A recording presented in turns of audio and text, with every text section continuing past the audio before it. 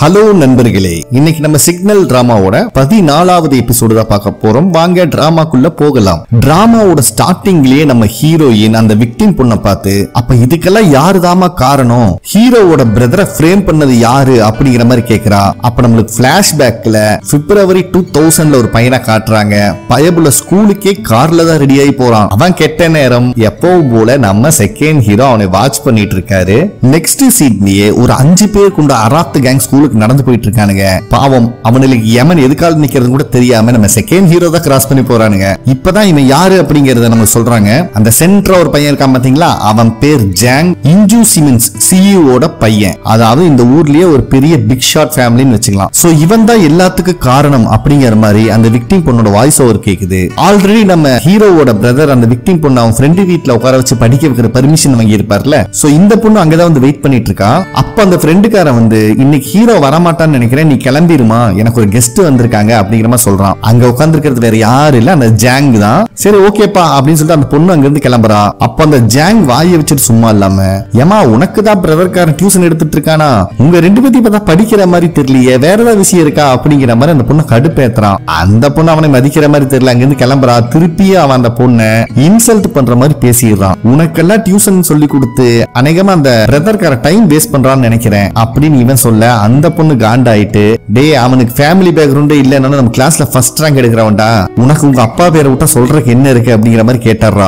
இதுல ஜாங் சரியான காண்டாயிடுறான் அவ்வளவுதான் அந்த ரூம்குள்ள இழுத்துட்டு போய் அந்த பொண்ணை சாத்து சாத்துன்னு சாத்துறான். இவன் பெரிய வீட்டு பையங்கனால அந்த ஃப்ரெண்டுக்காரனாலே ஒண்ணும் பண்ண முடியல. அவன் நடுங்கிட்டு வெளியவே நின்னுட்டு இருக்கான். சோ அவன் தான் ஃபர்ஸ்ட் அக்யூஸ்ட் அப்படிங்கிற மாதிரி இந்த பொண்ணு இப்போ ஹீரோ கிட்டயும் ஹீரோயின் சொல்லிட்டு இருக்கா. இத கேட்கிற ஹீரோ சரியான காண்டாகிறான். ஏமா நீ முதல்லயே உண்மை சொல்லியிருந்தா என் பிரதர் ஜெயிலுக்கு போயிருக்க மாட்டான்ல அப்படின்னு உணர்ச்சி வசப்பட்டு பேசும்போது நம்ம ஹீரோயின் தான் அவனை தடுக்கிறா. பட் நம்ம ஹீரோ கேட்கிற மாதிரி இல்ல. இவ்வளவு தப்பு பண்ணவன் வெளியே ராஜா மாதிரி சுத்திட்டு இருக்கான். எதுவுமே பண்ணாத என்னோட பிரதர் இறந்து போயிட்டான்ல அப்படிங்கிற மாதிரி சொல்றான். இத கேட்கிற அந்த விக்டிம் பொண்ணு ஷாக் ஆயிடுறான் ஏன்னா நம்ம ஹீரோட பிரதர் உயிரோடு இல்லைங்கிற விஷயமே இந்த பொண்ணுக்கு இப்பதான் தெரியுது. அப்பதான் நம்ம ஹீரோ சொல்றான் ஜெயில இருந்து வந்து கொஞ்ச நாள்லயே அவனே சூசைட் பண்ணி இறந்துட்டான் அப்படிங்கிற விஷயத்த. பட் இத அந்த விக்டிம் பொண்ணு ஏத்துக்கிற மாதிரி இல்ல. ஏன்னா இந்த சம்பவம் நடந்து கொஞ்ச நாள் கழிச்சு அந்த விக்டிம் பொண்ணு ஜெயில போய் நம்ம ஹீரோவோட பிரதரை மீட் பண்ணிருக்கா பட் அவன் எதுவும் சீரியஸ் எடுத்துக்காம அப்பவுமே அந்த பொண்ணுக்கு ஆறுதலா தான் பேசியிருக்கான். நீ இதுக்கப்புறம் உன்னோட லைஃபை ஃப்ரெஷ்ஷா ஸ்டார்ட் பண்ணு. நானும் அதே மாதிரிதான். எல்லாத்தையும் மறந்துட்டு என் லைஃபை நான் ஃப்ரெஷ்ஷா ஸ்டார்ட் பண்ண போறேன் அப்படிங்கிற மாதிரி அவன் சொல்லியிருக்கான். சோ இதை இப்ப அந்த விக்டிம் பொண்ணு சொல்லி காட்டிட்டு கண்டிப்பா உங்க அண்ணன் சூசைட் பண்றதுக்கான வாய்ப்பு கிடையாது அப்படின்னு சொல்லி அழுகிறா. பட் நம்ம ஹீரோக்கு அதுல எதுவுமே உழுகல. தயவு செஞ்சு நீ ஸ்டேட்மெண்ட் கொடு. அதை வச்சு என்னால அவனை பிடிக்க முடியும் அப்படின்னு சொல்றான். பட் அந்த விக்டிம் பொண்ணு எந்த ஸ்டேட்மெண்ட்டும் தர மாதிரி இல்லை. ஏன்னா இப்ப அவளுக்கு கல்யாணம் ஆகி குழந்தை குட்டியோடு இருக்கா. சோ இது வெளியே தெரிஞ்சதுன்னா அவ லைஃப் கண்டிப்பா ஸ்பாயில் ஆயிரும். அதுவும் இல்லாமல் எல்லாரும் என்னை கெட்ட பொண்ணு மாதிரியே பார்ப்பாங்க. அது என்னால் இதுக்கு மேலே ஃபேஸ் பண்ண முடியாது. என்னை மன்னிச்சுன்னு சொல்லிட்டு அங்கேருந்து போயிடுறா. ஆனால் நம்ம ஹீரோ யாருனாலும் கண்ட்ரோல் பண்ண முடியல. அப்போ ஹீரோயின் தான் சொல்றா தயவு செஞ்சு அமைதியா இரு. ஸ்டாச்சு ஆஃப் லிமிடேஷன் அந்த கேஸுக்கு முடிஞ்சிருச்சு. ஸோ இதுக்கப்புறம் அவ ஸ்டேட்மெண்ட் கொடுத்தாலும் உன்னால ஒன்றும் பண்ண முடியாது அப்படிங்கிற மாதிரி சொல்லிடுறா. ஆல்ரெடி கட்டுப்புல இருக்கிற நம்ம ஹீரோ உனக்கு அந்த பையனையும் ஃபேமிலி பத்தி என்ன தெரியும்? அவங்க அப்பா அந்த கம்பெனியோட சிஇஓ அது மட்டும் இல்லாம அவங்க அங்கிள் தான் இந்த சிட்டியோட காங்கிரஸ் மேன் எல்லா தப்பையும் பண்ணிட்டு அவன் ராஜா விட்டு கண்ணு ஊட்டியாட்ட வாழ்ந்துட்டு இருப்பான். எந்த தப்பும் பண்ணாத என்னோட பிரதர் சாகணுமா? அப்படிமா சொல்லிட்டு கடுப்புல அங்கிருந்து கிளம்பி போயாரா நம்ம ஹீரோ இப்ப நம்மளுக்கு பிளாஷ்பேக்ல செகண்ட் ஹீரோ காட்டுறாங்க. Year two thousand February fifteen பாவம் நம்ம செகண்ட் ஹீரோ வந்துட்டு காரை நிறுத்திட்டு ஸ்டேஷனுக்குள்ள அமைதியா போயிட்டு இருக்காரு. அவரை இடிக்கிற மாதிரி ஒரு கார் வந்து நிக்குது. இதை பார்த்தோன்னு சரியான காண்டாயிராரு பயப்புல.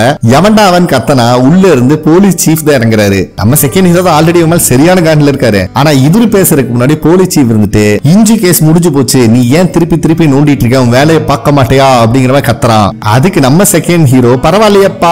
என்னை வேவு பார்க்கறதுக்குள்ள ஆள் வச்சிருக்கிய நீயே? சரி பணம் நிறைய இடத்துல விளையாண்டு இருக்கு அதுவும் எனக்கு தெரியும். இதுல குற்றவாளி இடத்துல இருக்க வேண்டியது. அந்த இன்ஜூ சிமெண்ட் சிஇஓட பையன் ஜாங் தான். அவங்க பெரிய ரிச் ஃபேமிலியா இருக்கிறதுனாலையும் அவன் அங்கிள் வந்து இங்க காங்கிரஸ் மேனா இருக்கிறதுனாலையும் அவன் தூக்கி வீசின காசு காசப்பட்டு வாலாட்டிட்டு திரியற. அப்படிங்கிற நம்ம ஹீரோ கத்தும் போது சீஃபும் கத்த ஆரம்பிச்சிடுறாரு. பட் நம்ம செகண்ட் ஹீரோ விட்டு கொடுப்பாரா? மகனே நீ பண்ண தப்புல இருந்து எல்லாத்தையுமே உன் வாய் வாயாலேயே ஒத்துக்க வைக்கிறண்டா அப்படிங்கிற மாதிரி சவால் விடுறாரு. உன்னால முடிஞ்சது நீ பாடுறா அப்படிங்கிற மாதிரி சொல்லிட்டு சீஃப் அங்கிருந்து கிளம்புறான். ஏன்னா இந்த கேஸை பொறுத்த வரைக்கும் இந்த ஊர்ல இருக்கிற எல்லா பிக் ஷாட்ஸும் இப்ப சீஃபுக்கு தான் சப்போர்ட்டா இருக்காங்க. அந்த தைரியம் பயப்பிள்ளைக்கு. சோ நம்ம செகண்ட் ஹீரோ ஸ்டேஷனுக்குள்ள வந்தா ஃபர்ஸ்ட் ஹீரோயின் தான் போய் பிளாக் பண்றா. சீஃப் நம்ம ரெண்டு பேத்துக்கு வேற ஒர்க் கொடுத்திருக்காரு. யாரோ ஒருத்தரோட ஆக்டிவிட்டிஸ் வாட்ச் பண்ணுமாமா? சோ வாங்க அதுக்கு போலாம் அப்படிங்கிற மாதிரி கூப்பிடுறா. நம்ம செகண்ட் ஹீரோ வந்துட்டு அது நம்ம ஏரியாலேயே வராதுமா? அப்படிங்கிற மாதிரி சொல்றா. அதுக்கு அங்க இருக்கிற போலீஸ்காரன் இது உன்னோட ஜாப் தான் ஒழுங்குமுறையா பண்றா அப்படிங்கிற மாதிரி சொன்னோன்னு ரெண்டு பேரும் கிளம்பிடுறாங்க. அப்ப கடைசியில தான் பக்கத்துல இருக்க போலீஸ்காரன் சொல்றான் அங்கதான் இன்னொரு டீம் அனுப்பியாச்சு இவங்களே திருப்பி அனுப்புறாங்க அப்படிங்கிற மாதிரி. சோ ஹீரோயினும் செகண்ட் ஹீரோவும் சீஃப் சொன்ன மாதிரி ஒருத்தரை ஃபாலோ பண்றதுக்காக வெயிட் பண்ணிட்டு இருக்காங்க. அப்பதான் பேக்ரவுண்ட்ல சீஃப் பேசுற மாதிரி ஒரு விஷயத்த சொல்றாங்க. இவனை இப்படியே ஒர்க் கொடுத்து பிஸியாவே வச்சிருந்தாதான் தேவையில்லாத வேலையெல்லாம் நோண்ட மாட்டான் அப்படிங்கிற மாதிரி. ஆனா பாவம் நம்ம செகண்ட் ஹீரோ டயர்ல அங்க தூங்கிட்டு இருக்காரு. அவனை பாக்குற நம்ம ஹீரோயின் இவன் எங்க போறான் எங்க வரா எதையும் சொல்ல மாட்டேங்கிறான் கூடயும் கூட்டு போக மாட்டேங்கிறான் அப்படிங்கிற மாதிரி நினைச்சிட்டு இருப்பா. ஆனா இதெல்லாம் எதுவுமே தெரியாம நல்ல எருமை ஏப்ப விட்ட மாதிரி தூங்கிட்டு இருக்காரு. நம்ம செகண்ட் ஹீரோ அதை இந்த பக்கி பைப்புல ரொமான்டிக்கா வேற பார்த்துட்டு இருக்கா. இப்போ பிரசன்ட்ல நம்ம ஹீரோயினை காட்டுறாங்க.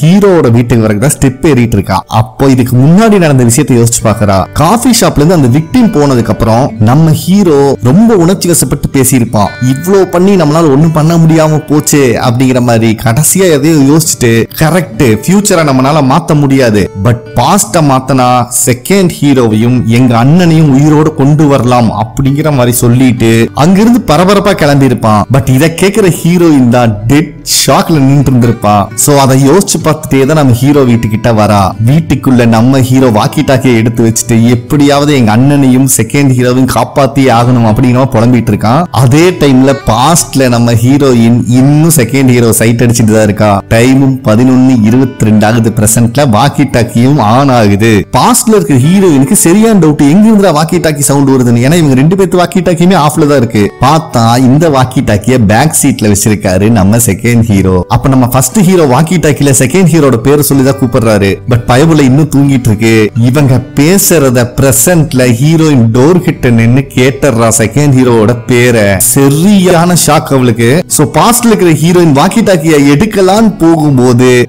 எதார்த்தமா செகண்ட் ஹீரோ கண்ணை திறக்கிறாரு. அப்போ இவங்க வாட்ச் பண்ணிட்டு இருந்தாங்களா? அந்த வீட்ல இருந்து ஒருத்தன் குதிச்சு ஓடுறான். அதை பார்த்த உடனே இவர் கத்திடுறாரு. வேற வழி இல்லாம ரெண்டு பேரும் அவனை துரத்த வேண்டியதாயிருது. சோ வாக்கி டாக்கிய அட்டன் பண்ண முடியல. வாக்கி டாக்கியும் ஆஃப் ஆயிடுது சோ பாஸ்ட்ல இவங்களும் துரத்திட்டு போய் திருடனை பிடிக்க முடிஞ்சிருக்காது. அப்ப ஹீரோயின் வாக்கி டாக்கி பத்தி தான் கேக்குறா. இப்போ நானாச்சு அது எப்படி அப்படிங்கிற மாதிரி. அதெல்லாம் ஒண்ணு இல்லாம நீ அவனை போய் பிடிமங்கிற மாதிரி சொல்லி சமாளிச்சு அனுப்பி விட்டுறாரு நம்ம செகண்ட் ஹீரோ சோ பிரசன்ட்ல நம்ம ஹீரோக்கு வாக்கி டாக்கி ஆஃப் ஆனனால என்ன பண்றதுன்னே தெரியல.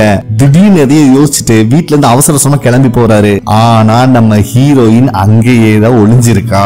சோ ஹீரோ வெளியே போனதுக்கு அப்புறம் நம்ம ஹீரோயின் உள்ள வந்து பார்த்தா டேபிள் மேல ஒரு வாக்கி டாக்கி இருக்கு. எடுத்து பாக்குற அடியில ஒரு ஸ்மைலி ஸ்டிக்கர் ஒட்டி இருக்கு. இது செகண்ட் ஹீரோட வாக்கி டாக்கில பாஸ்ட்ல நம்ம ஹீரோயின் ஒட்டின ஸ்டிக்கர் தான் இது. அவ்வளவுதான் இத பாக்குற ஹீரோயினுக்கு என்ன நடக்குதுன்னே புரியல. ஃபுல் பதட்டத்துல நின்று இருக்கா நம்ம ஹீரோவை பார்த்தா கார் எடுத்துட்டு வெறித்தனமா இஞ்சி சிட்டிக்குள்ளதான் என்டர் ஆகுறாரு.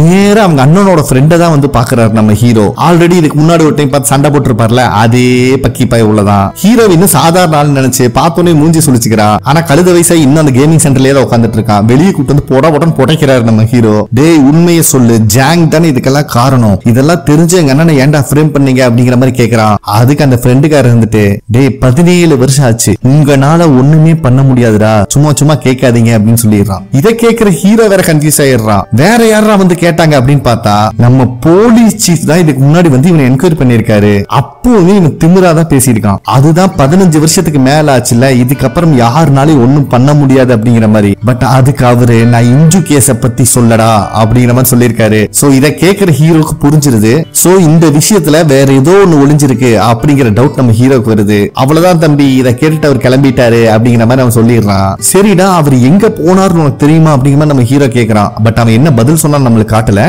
நெக்ஸ்ட் சீனே கார் எடுத்துட்டு நேர இஞ்சு போலீஸ் டிபார்ட்மெண்ட் தான் போறாரு. அங்க ஒரு போலீஸ்கார ஒரு ஃபைல் டீடைல் கொடுத்து உங்க சீஃப் இந்த ஃபைலோ டீடைல் தான் ரெக்வஸ்ட் பண்ணியிருந்தாரு கொஞ்ச நாளைக்கு முன்னாடி அப்படிங்கிற விஷயத்த சொல்றான். வாங்கி பார்த்தா அது ஆக்சுவலா அந்த பொண்ணோட கேஸ் ஃபைல் இல்ல. Hero பிரதரோட suicide case file so police head கிட்ட ஒரு போலீஸ்காரன் இந்த விஷயத்த தான் சொல்லிட்டு இருக்கான். நம்ம சீஃப் சாகருக்கு முன்னாடி அந்த கேஸ் ஃபைல் தான் கேட்டிருந்திருக்காரு அப்படிங்கிற மாதிரி. நம்ம ஹீரோயின் அந்த வாக்கி டாக்கி தான் பார்த்துட்டு இருக்கா?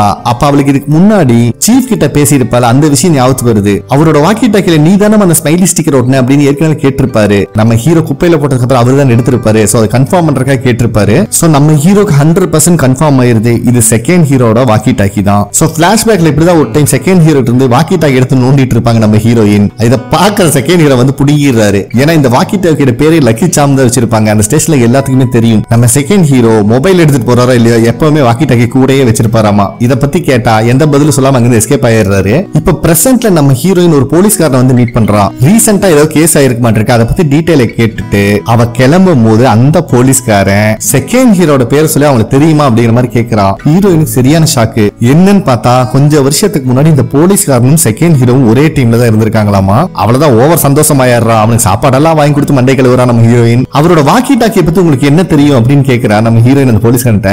அப்பதான் அவர் இன்னொரு விஷயத்த சொல்றாரு. அந்த வாக்கி டாக்கி ஆன் ஆகலைனால எப்பவுமே தூக்கிட்டே சுத்துவான். ஏன்னா அதை வந்து அவனோட ஃபர்ஸ்ட் லவ் ஞாபகத்தமா வச்சிருக்கானாமா அப்படின்னு சொல்றாரு. இதுல ஹீரோயினோட மூஞ்சி பையன் சுருங்கிடுது. ஆமாமா அந்த பொண்ணு உயிரோடு இல்ல இறந்துட்டா பட் அதுக்கப்புறம் எப்பவுமே இந்த வாக்கி டாக்கி அவர் கூடயே வச்சிருப்பாராமா நான் கேள்விப்பட்ட பிரகாரம் அவர் படத்துக்கு கூட போக மாட்டாரு. ஏன்னா அந்த பொண்ணு சாகருக்கு முன்னாடி இவர் கூட படத்துக்கு போலாம் டிக்கெட் வாங்கி வச்சிருந்தாலாமா? அப்படிங்கிற விஷயத்த சொல்றாரு. அப்ப நம்ம ஹீரோயின் ஒரு பிளாஷ்பேக் யோசிச்சு பாக்குறா. நம்ம செகண்ட் ஹீரோ கிட்ட போய் நம்ம ஹீரோயின் இந்த கிறிஸ்மஸ் உங்களுக்கு என்ன பிளான் எங்ககிட்ட ரெண்டு மூவி டிக்கெட் இருக்கு அப்படின்னு ஆரம்பிப்பா. அவன் கண்ணை பார்த்தோன்னே நீங்க வேணா உங்க ஃப்ரெண்டை கூப்பிட்டு போங்க அப்படிங்கிற மாதிரி டிக்கெட் கொடுக்குறா. பட் நான் படமே பாக்குறதுல அப்படின்னு சொல்லிட்டாங்கன்னு கிளம்பிடுறான் நம்ம செகண்ட் ஹீரோ அதுக்கப்புறம் நம்ம ஹீரோயின் ஸ்டேஷனுக்கு வந்தாலும் அவனால கான்சென்ட்ரேட் பண்ணி வேலை செய்ய முடியல. அதெல்லாம் கூட பரவாயில்ல. ஜென்ஸோட ரெஸ்ட் ரூம் கூட போயிடுறா. இதை பாக்குறதுல சரியான கடுப்பாயிடுறானுங்க. அப்ப நம்ம செகண்ட் ஹீரோ தான் வந்து அட்வைஸ் பண்றான். இப்படி எல்லாம் இருக்காத ஒர்க்ல கான்சென்ட்ரேட் பண்ண அப்படிங்கிற மாதிரி. பட் நம்ம ஹீரோயின் அதுக்கு பதில் சொல்லாம உங்க ஃபர்ஸ்ட் லவ் இறந்துட்டாங்கன்னு கேள்விப்பட்ட நீங்க இன்னும் அதுல இருந்து வெளியே வரலையா அப்படிங்கிற மாதிரி கேட்டிருப்பா. பட் நம்ம செகண்ட் ஹீரோ அதுக்கு எந்த பதில் சொல்லாம அங்கிருந்து கிளம்பி போயிடுறாரு.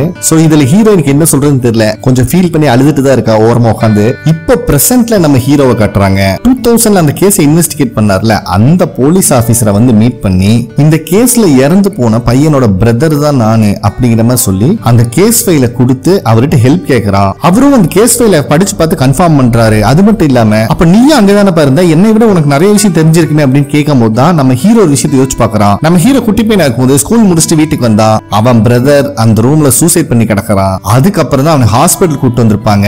ஆல்ரெடி பல்ஸ் இல்லைன்னு சொல்லிட்டு சிபிஆர் பண்ணி ட்ரை பண்ணிருப்பாங்க பட் காப்பாத்த முடிஞ்சிருக்காது. அதுக்கப்புறம் அவங்க அம்மா வரும்போது தான் பெரிய பையன் இறந்துட்டா அப்படிங்கிற விஷயமே அவங்களுக்கு தெரியுது. சோ அப்ப அங்க ஒரு போலீஸ் ஆபீசர் இருக்காரு. அவர் வேற யாரும் இல்ல. இப்ப ஹீரோ பிரசன்ட்ல பேசிட்டு இருக்காருல அவரு தான் இதுக்கு முன்னாடி நடந்த விஷயத்தெல்லாம் வச்சு ஒருவேளை டிப்ரெஷன்ல உங்க பையன் சூசைட் பண்றதுக்கான சான்ஸ் சான்சஸ் இருக்கு. உங்களுக்கு வேணும்னா அட்டாப்சி பண்ணலாம் அப்படிங்கிற மாதிரி அவர் கேட்டிருப்பாரு. பட் இதுக்கு மேல என் பையன் உடம்புல கத்தி பண்ண வேண்டாம்னு சொல்லி அவங்க அம்மா வேண்டாம்னு சொல்லிடுவாங்க. அதுக்குள்ளேயே நம்ம ஹீரோவோட அப்பா அங்க வந்து உன்னை தான் இங்க திரும்பி வரக்கூடாதுன்னு சொல்லியிருக்கேன்ல அப்படிங்கிற மாதிரி சொல்லி நம்ம ஹீரோவை அவர் தர தரான்னு இழுத்துட்டு போயிடுறாரு. அதுக்கப்புறம் நம்ம ஹீரோ உட்கார்ந்து அந்த கேஸ் ஃபைல தான் பாக்குறான் அப்போவுமே அவனுக்கு போலீஸ் சீஃப் வந்து ஹீரோ பிரதரோட ஃப்ரெண்டு கிட்ட சொல்லியிருப்பார்ல நான் அந்த இன்ஜு கேஸ்க்காக வரலன்னு. அந்த விஷயமும் பிளஸ் போலீஸ் டிபார்ட்மெண்ட்ல உன் பிரதரோட கேஸ் ஃபைல் தான் ரெக்வஸ்ட் பண்ணி கேட்டிருப்பாரு. அந்த விஷயம் ஞாபகத்துக்கு வருது. அது மட்டும் இல்லாம கடைசியா போன் பேசும்போது உன்னால உண்மையை சமாளிக்க முடியும்னா நேர்ல வாடா நான் எல்லாமே சொல்றேன் அப்படிங்கிற மாதிரி தான் கடைசியா கூப்பிட்டு இருப்பாரு சோ இது எல்லாமே வச்சு பார்த்து இவர் ஏதோ ஒரு விஷயத்தை இதுக்குள்ள தேடுறாரு அப்படிங்கறது மட்டும் நம்ம ஹீரோ புரியுது. பட் அது என்னன்னு தெரியல. கேஸ் ஃபைல்ல அவங்க என்ன இறந்தது? பிப்ரவரி பதினெட்டு இயர் டூ தௌசண்ட் அப்படின்னு போட்டிருக்கு. சோ நெக்ஸ்ட் சீன்லயே பாஸ்ட்ல அதாவது அவங்க அண்ணன் இறக்கறதுக்கு ஒரு நாளைக்கு முன்னாடி பிப்ரவரி பதினேழு டூ தௌசண்ட்ல காட்டுறாங்க. இந்த கேஸ்ல அரெஸ்ட் ஆன எல்லாருமே மைனர்னால அன்னைக்கு தான் ரிலீஸ் பண்ணிருக்காங்க மத்த பேரண்ட்ஸ்லாம் ஏதோ ஃபாரின் போயிட்டு வந்த மாதிரி சந்தோஷமா வெல்கம் பண்ணி கூட்டு போயிட்டு இருக்கானுங்க நம்ம ஹீரோவோட பிரதர் சோகமா வெளியே வந்தா அவங்க அம்மாவும் அங்கதான் நின்னுட்டு இருக்காங்க பட் அவங்க எதுவும் பேசலாம் கையை பிடிச்சி நேரம் வீட்டுக்கு கூப்பிட்டு வந்துடுறாங்க. வீட்டுக்குள்ள வந்த உடனேயே ஃபேமிலி போட்டோ அங்க இல்ல தம்பியோட திங்ஸும் அங்க இல்ல. அதனால அவன் இந்த வீட்டுல இல்ல அப்படிங்கறத இவன் கன்ஃபார்ம் பண்ணிக்கிறான். அதுக்கப்புறம் அவங்க அம்மா நம்ம ஹீரோட பிரதருக்கு சாப்பாடு கொடுத்துட்டு நான் வேலைக்கு கிளம்புறேன் அப்படிங்கிற மாதிரி சொல்லி கிளம்புறாங்க. அவர் ஹீரோவை பத்தி விசாரிச்சா அதை பத்திலாம் நீ யோசிக்காத உன் லைஃப் பாரு சாப்பிட்டுட்டு ரெஸ்டட் அப்படிங்கிற மாதிரி சொல்லிட்டு அவங்க அம்மா கிளம்பிடுறாங்க. அதுக்கப்புறம் பிரதர் ஒரு லாக்கர் ஓபன் பண்றான். அங்க ஒரு கத்தி இருக்கு. பட் அவன் சூசைட் அட்டம் பண்ணல. திருப்பி லாக்கர் க்ளோஸ் பண்ணி வச்சிடறான். அதுக்கப்புறம் அவன் ஃப்ரெண்டுக்காரனை வந்து மீட் பண்றான். ஆனா இவனை பார்த்தோன்னே அவன் ஃப்ரெண்டுக்காரனுக்கு உயிரே இல்ல. பட் பிரதர்காரன் இருந்துட்டு நான் கூட சண்டை போட வரலடா. நான் ஜூவினல் ஜெயில இருக்கும்போது நிறைய விஷயம் கேள்விப்பட்டேன். நான் பாத்துக்கிறேன். எனக்கு என்ன பண்ணணும்னு தெரியும். பட் அது எங்க இருக்குன்னு மட்டும் சொல்லு அப்படிங்கிற மாதிரி கேக்குறான். ஃப்ரெண்டுக்காரனுக்கு ஒண்ணுமே புரியல. எந்தவரா கேக்குற அப்படின்னு பார்த்தா ரெட் கலர் மஃப்லரை கேக்குறான். ஏன்னா கடைசியா இவன் வீட்டுல இருந்து அந்த விக்டிம் பொண்ணு வெளியே வரும்போது அந்த மஃப்லர் போட்டிருப்பா. அதுக்கப்புறம் தான் அந்த சியோட பையன் வந்து அவளை போட்டு அடி அடி நடிச்சு தப்பா நடந்திருப்பான். ஸோ அந்த மஃப்ளர் தான் எல்லாம் தேடிட்டு இருக்கானுங்க. இப்ப நம்ம செகண்ட் ஹீரோ காட்டுறாங்க. வேலைக்கு கிளம்பும் போது அவங்க அப்பாவோட கடையில சீஃப் வந்து வாட்ச் ரெடி பண்ற மாதிரி உட்கார்ந்துட்டு இருக்கான். இதை பார்த்தோன்னே செகண்ட் ஹீரோ சரியான கிராண்ட் ஆகுது. நீ என்ன சாமி இங்க பண்ற? அப்படிங்கிறத செகண்ட் ஹீரோ கேட்கறான் அப்பதான் அவங்க அப்பாக்கு அவன் போலீஸ்கார அப்படிங்கிற விஷயமே தெரிய வருது. ஆனா உடுவார செகண்ட் ஹீரோ அவனை வெளியே கூப்பிட்டுட்டு வந்து சரி சொல்லு இப்ப என்ன மிரட்டருக்கு வந்திருக்கியா? இல்ல எதுக்கு வந்திருக்க? அப்படிங்கிற மாதிரி கேட்கிறாரு அவன் இருந்துட்டு பாரு உங்க அப்பா ரொம்ப கஷ்டப்பட்டுட்டு இருக்காரு. அவருக்கு வயசாயிருச்சு. அவருக்கு இருக்கிற ஒரே பையன் நீ தான் சோ எத்தனை நாள் தான் இப்படியே இருக்க போற? என் கூட ஜாயின் பண்ணிக்கோ அப்படிங்கிற மாதிரி சொல்றான். இதுல செகண்ட் ஹீரோ சரியான காண்டாயிட்டு நீ எப்ப பார்த்தாலும் அடுத்தவங்க வீக்னஸ் கூடயே விளையாண்டு இருக்க அது எங்கிட்ட நடக்காது சாமி. அப்படின்னு சொல்லிட்டு இந்த கேஸ் ஆரம்பிக்கும் போது வெப்சைட்ல ஒரு ஆர்டிக்கல் ரிலீஸ் ஆயிருக்கும்ல அதுல வர ஃபர்ஸ்ட் லைனை சொல்றாரு. எல்லாமே ஆரம்பிச்சது அங்கிருந்து தான் அப்படிங்கிற மாதிரி. இதை கேட்கிற சீஃப்க்கு மூஞ்சியே இல்ல. நீ வேணா பாதியில விட்டுட்டு போ. எனக்கு வந்து முழுசா முடிச்சுதான் பழக்கம். என்ன வந்தாலும் சரி நான் பாத்துக்கிறேன்டா அப்படிங்கிற சொல்லி கெத்த கிளம்பிடுறாரு. அதுக்கப்புறம் அந்த சீஃப் ஜாங்கோட அங்கிள் அதாவது அங்க காங்கிரஸ்மேன் சொல்றாங்களா அவருக்கு கால் பண்றாரு பட் அவன் அசிஸ்டன்ட் தான் போன் எடுக்கிறான். அவர் இப்ப பிஸியா இருக்காரு பேச முடியாது அப்படிங்கிற சொல்லிட்டு டபால் போனை கட் பண்ணிடுறான். இதுல சீஃபுக்கு சரியான காண்டாயிருது சோ ஒரு வழியை நம்ம போலீஸ் சீஃப் சண்டை போட்டு வந்து அந்த காங்கிரஸ்மேனை பாக்குறாரு. அந்த ஒரே வார்த்தை தான் சொல்றான். செகண்ட் ஹீரோ நாய் மாதிரி மோப்பம் பிடிச்சி திரியறான். ஒண்ணு அவன் டிபார்ட்மெண்ட்லயே இருக்க கூடாது அப்படி இல்ல அவன் உயிரோடு இருக்க கூடாது நீயே முடிவு எடுத்துக்கோ அப்படிங்கிற மாதிரி சொல்லிடுறாரு. ஸ்டேஷன்ல இருக்க நம்ம செகண்ட் ஹீரோக்கு ஒரு கால் வருது. யாருன்னு பார்த்தா நம்ம ஹீரோவோட பிரதர் இன்னைக்கு தான் ஜெயில இருந்து வெளியே வந்தேன். இந்த கேஸ் சம்பந்தமா முக்கியமான எவிடன்ஸ் என்கிட்ட இருக்குங்கிறா. இதை கேட்ட உடனே நம்ம செகண்ட் ஹீரோக்கு சுவாரஸ்யமாயிருது. என்னடான்னு விசாரிச்சா அந்த அன்னைக்கு அந்த பொண்ணு போட்டிருந்த ரெட் கலர் மஃப்ளர் நான் கண்டுபிடிச்சு வச்சிருக்கேன். எனக்கு வேற யாரு மேலயும் நம்பிக்கை இல்ல. நான் உங்ககிட்ட பர்சனலா கொடுக்கணும்னு நினைக்கிறேன் அப்படிங்கிற மாதிரி சொல்றான் சரி தம்பி நீ எங்கேயும் வெளியே போயிடாத. வீட்லயே இரு. நான் இப்ப வந்துடுறேன் அப்படின்னு சொல்லிட்டு போனை கட் பண்ணிடுறாரு. சோ பக்கத்துல இருக்க போலீஸார்கிட்ட நான் அவுட் ஆஃப் டவுன் போறேன். எனக்கு பதிலாக நீ பாத்துக்கோ அப்படிங்கிற மாதிரி சொல்றாரு. இதை நம்ம ஹீரோயினும் நோட் பண்ணிட்டு இருக்கா. அதுக்குள்ளேயே ஒரு போலீஸ்காரன் சஸ்பெக்ட் இருக்க தெரிஞ்சிருச்சு. எல்லாரும் வாங்க அப்படின்னு கூப்பிடுறான். ஹீரோயின் கிட்ட அடிபட்டு இருக்கா நுண்டிட்டு ஓடுறது பார்த்தோன்னா நம்ம செகண்ட் ஹீரோக்கு மனசே கேட்கல அதனால அவரும் அவங்க கூட ஜாயின் பண்ணி கிளம்புறாரு. அங்க போய் இவனுக்கு ஒவ்வொரு இடமா தேடிட்டு இருந்தா நம்ம ஹீரோயின் தான் கண்டுபிடிச்சிடறான் அவனைய. ஆனா அவன் ஹீரோயின் தூக்கி ஒரு ஸ்நாக் போடுவான் பாருங்க. அவ்வளவுதான். மண்ட கபாலமே கலங்கி போற அளவுக்கு காட்டிடுறான். அதுக்குள்ளேயும் நம்ம செகண்ட் ஹீரோ லாக் பண்ணி ஒரு ஸ்நாக் போடுறாரு. இந்த சண்டையில செகண்ட் ஹீரோட வயித்துல கத்தி லைட்டா இறங்கிடுது மத்த போலீஸ்காரங்களும் அதுக்குள்ளேயே வந்து அந்த சஸ்பெக்ட் இழுத்துட்டு போயிடுறானுங்க. சோ ஹீரோக்கு லைட்டா கத்தி குத்து பட்டனால ஆம்புலன்ஸ் போயிட்டு இருக்காரு. பக்கத்திலேயே ஹீரோயின் இருக்கா? அவனுக்கு ட்ரெஸ்ஸிங் வேற பண்ணிட்டு இருக்காங்க. அவ்வளோ பெரிய அடியெல்லாம் ஒண்ணும் இல்ல. ஆனா இதுக்கே ஹீரோயின் கத்தி கதறி அழுதுட்டு இருக்கா என்னை காப்பாத்த வந்து நீ செத்துருப்பியே கோபால் அப்படிங்கிற மாதிரி. பாவ செகண்ட் ஹீரோ பாக்குற வரைக்கும் பார்த்துட்டு இதுக்கப்புறம் இந்த கன்றாவிய பார்க்க முடியலன்னா திரும்பி வேற படுத்துக்கிறாரு இப்ப பிரசன்ட்ல ஹீரோயின் ஃப்ரெண்டு போலீஸ் கண்ணாடி போலீஸ்கார மூணு பேர் உட்காந்து கேஸ பத்தி டிஸ்கஸ் பண்றாங்க. அந்த ஃப்ரெண்டு போலீஸா துப்பறியும் புலியாச்சே. சோ அவன் ஸ்டேட்மெண்ட்ல ஆல்ரெடி பாத்துருப்பான் இருக்கு. கரெக்டா சொல்றான். சொல்லி வச்ச மாதிரி எல்லா ஸ்டேட்மெண்ட்டும் ஒரே மாதிரி இருக்கு. பட் ஒரே ஒரு விஷயத்தை எல்லாரும் மிஸ் பண்ணிட்டாங்க. ரெட் மஃப்ளர் அப்படிங்கிற விஷயத்தை இவன் மார்க் பண்றான். இவனுக்கு எப்படா தெரியும்னு பார்த்தா இந்த கேஸ்ல ஒர்க் பண்ண ஒரு போலீஸ் ஆபீசர் இவனுக்கு ஃப்ரெண்டாட் இருக்கு. அவர் மூலியமா கேட்கும் போது ஃபர்ஸ்ட் ஃபர்ஸ்ட் என்கொயரி பண்ணும்போது ரெட் மஃப்ளர் பத்தி ஒரு பையன் சொல்லியிருந்தான். பட் அதுக்கப்புறம் அதை மூடி மறைச்சிட்டாங்க. அப்படின்னு ஃப்ரெண்ட் போலீஸ் தெரிய வந்திருக்கு. அது மட்டும் இல்லாம அதுக்கப்புறம் அதை பத்தி யாருமே விசாரிக்கல. சோ ஃபர்ஸ்ட் ஹீரோ சொன்ன மாதிரி நிறைய விஷயம் பிளாக் அவுட் ஆயிருக்கு. அப்படின்னு கன்ஃபார்ம் பண்றாரு. அதுக்கப்புறம் நம்ம ஹீரோயின் நல்லா யோசிச்சு பார்த்துட்டு கடைசியா போலீஸ் சீஃப் சாகறதுக்கு முன்னாடி நம்ம ஹீரோவை இஞ்சு ஹாஸ்பிட்டல் தானே வர சொன்னாரு அப்படிங்கிற மாதிரி கேக்குறா. அதே சமயத்துல நம்ம ஹீரோ அந்த இஞ்சு ஹாஸ்பிட்டல் முன்னாடி தான் நின்று இருக்கான் வெளியே போலீஸ்காரங்க இருக்கிறனால இருக்கறனால உள்ள போக முடியல. அவனும் அதே விஷயத்தை யோசிச்சு பார்க்கறான் இவன் பிரதர் டெத்தை கன்ஃபார்ம் பண்ணதும் இதே ஹாஸ்பிட்டல் தான். உண்மையை கண்டுபிடிக்க வந்த போலீஸ் சீஃப் இறந்ததும் இந்த ஹாஸ்பிட்டல் பக்கத்துல தான். சோ கண்டிப்பா சீக்ரெட் இங்க தான் எங்கேயோ மறைஞ்சிருக்கு அப்படிங்கிற மாதிரி நினைக்கிறான். சோ போலீஸார் கிளம்பணும்னா நம்ம ஹீரோ அந்த ஹாஸ்பிட்டலுக்குள்ள என்டர் ஆகுறான். அதே சமயத்துல இதுக்கு முன்னாடி போலீஸ் பேசிட்டே தான் என்டர் ஆயிருப்பாரு. அப்ப பக்கத்துல ஒரு சைரன் சவுண்ட் கேட்டிருக்கும். ஆம்புலன்ஸ் வந்து நின்னது. அதை நினைச்சு பார்த்துட்டே தான் இவனும் உள்ள போறான். அதுக்கப்புறம் பேசிட்டே இருக்கும் போது எலிவேட்டர் சவுண்டும் கேட்டிருக்கும். சோ அவர் இதையும் கிராஸ் பண்ணிருக்காரு அப்படிங்கிற கன்ஃபார்ம் பண்ணி போறான். அப்ப அங்க போற ஒரு போலீஸ்காரன் டவுட் வந்துருது. இங்க யாரோ ஓடி போன மாதிரி. குடுகுடுன்னு ஓடி வந்து பாக்குறான் அதுக்குள்ளேயும் கரெக்டா நம்ம ஹீரோ இதுக்கு முன்னாடி சீஃப் எந்த ரூம் போனாரோ அதே ரூம்குள்ள போய் கதை சாத்திக்கிறான் சோ அவர் இந்த ரூம்ல இருந்து எங்க தான் போயிருப்பாரு அப்படின்னு யோசிச்சா கீழே டவுன் ஸ்டேர்ஸ் போற வழி வந்து பிளட் பேங்க்குக்கான வழி. சோ அப்பதான் நம்ம ஹீரோக்கு அவங்க அண்ணன் இந்த ஹாஸ்பிட்டல் அட்மிட் ஆனோடனே ஃபர்ஸ்ட் பிளட் தான் எடுத்திருப்பாங்க. அது ஞாபகத்துக்கு வருது. சோ இவனு கீழே போகும்போது யோசிச்சு பார்த்துட்டே தான் போறான். ஏன்னா என்னதான் தற்கொலை பண்ணி இறந்தாலும் கொஞ்சமாவது ஷஃபர் ஆயிருப்பாங்க. அந்த மாதிரி சிம்டம்ஸ் எதுவுமே அவங்க அண்ணனோட பாடியில இல்ல. கீழே வந்துடுறான். பிளட் ரூம் அங்க இருக்கு பட் நம்ம ஹீரோக்கே தோணுது. பதினஞ்சு வருஷத்துக்கு முன்னாடி எடுத்த பிளட் சாம்பிளிங் இருக்க வாய்ப்பு கிடையாது. சோ போலீஸ் சீஃப் இங்க வேற எதையோ தேடிட்டு வந்திருக்காரு அப்படின்னு ஒவ்வொரு ரூமா யோசிச்சு பார்த்துட்டே போனா அடுத்தது அட்மினிஸ்ட்ரேஷன் ரூம் இருக்கு.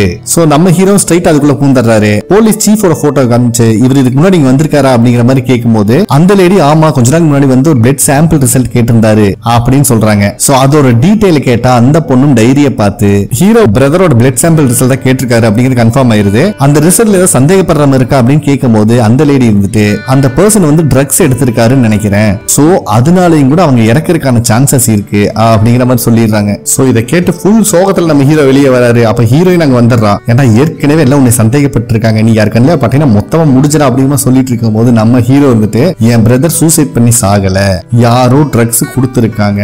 அதுக்கப்புறம் தான் இதை ஃப்ரேம் பண்ணிருக்காங்க சூசைட் மாதிரி அப்படிங்கிற விஷயத்த சொல்றான். சோ இதை கண்டுபிடிக்கிறதுக்காக தான் நம்ம போலீஸ் சீவும் கஷ்டப்பட்டிருக்காரு. அதனாலதான் அவர் கொண்டிருக்காங்க அப்படின்னு சொல்லிட்டே இருக்கும்போது பாஸ்ட்ல நம்ம ஹீரோட பிரதர் தான் காட்டுறாங்க. அவன் திருப்பி திருப்பி நான் செகண்ட் ஹீரோ தான் கால் பண்ணிட்டு இருக்கான் இந்த மஃப்ளர் ஒப்படைக்கிறக்காக பட் அவர் இப்பதான் கத்தி குத்துவாங்க ஹாஸ்பிட்டல் கிடக்குறாரு. அதனால அவர் மயக்கத்துல இருக்கிறனால போன் எடுக்க முடியல.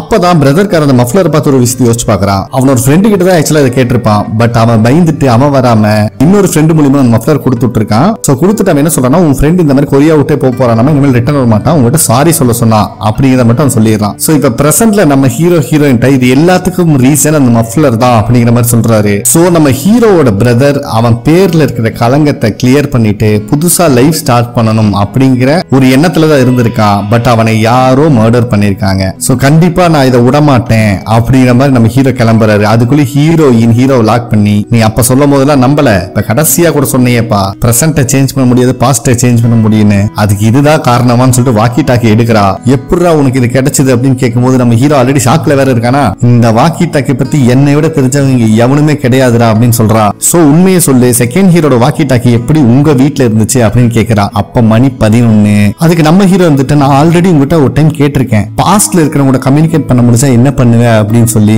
அந்த விஷயத்த சொல்றான் உண்மையாக கேட்டது நம்ம ஹீரோ ஞாபகத்துக்கு வருது. அது மட்டும் இல்லாம ஆல்ரெடி ஒரு கிட்னாப் கேஸ்ல அந்த பாடி நான் கண்டுபிடிச்ச மேன் ஹோல்டு ஞாபகம் இருக்கா?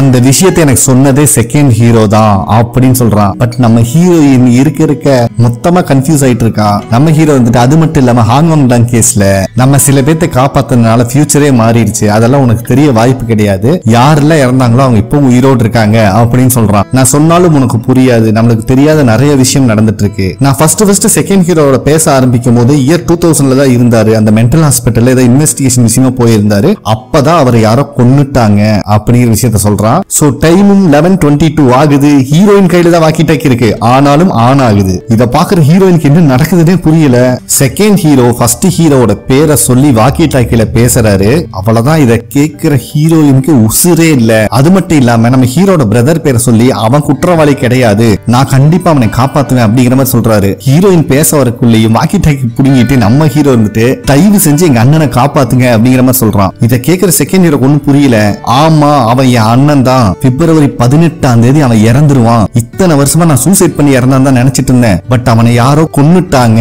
அப்படின்னு சொல்றான். இத கேட்ட உடனே நம்ம செகண்ட் ஹீரோ பரபரப்பா கிளம்புறாரு. இங்க வாக்கி டாக்கியும் கட் ஆயிருது நம்ம ஹீரோ வந்துட்டு உண்மையை சொல்றா. யாரா பேசுனது அப்படிங்கிற மாதிரி கேக்குறா. அதுக்கு ஹீரோ நீ இத்தனை நாள் யாரை தேடிட்டு இருந்தியோ அவன் தான் பேசினா?